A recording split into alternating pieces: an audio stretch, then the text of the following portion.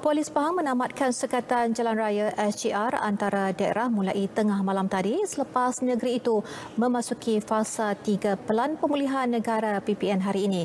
Ketua Polis Pahang, Datuk Ramli Muhammad Yusof bagaimanapun menasihatkan orang awam sentiasa mematuhi prosedur operasi standard SOP ditetapkan Majlis Keselamatan Negara MKN. Jelasnya usaha dan tanggungjawab bersama penting dalam mencegah penularan COVID-19 terus berleluasa.